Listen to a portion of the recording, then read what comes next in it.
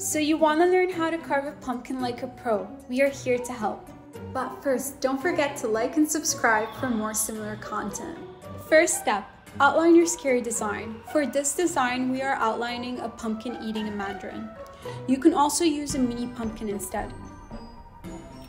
Step 2. Use a sharp knife. Begin carving out the shape while holding the pumpkin secure.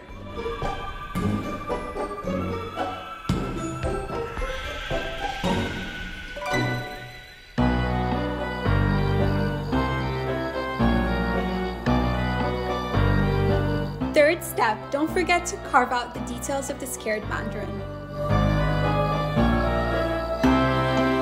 Fourth step, carve out the back of the pumpkin and scrape out the inside.